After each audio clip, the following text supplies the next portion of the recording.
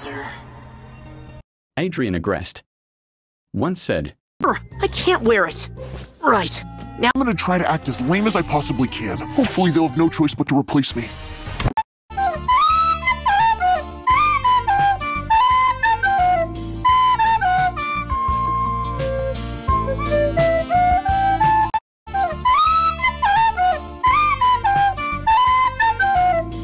I've heard enough. Birthday, Adrian? Oh, Plagg, Get that filthy piece of camembert out of my face!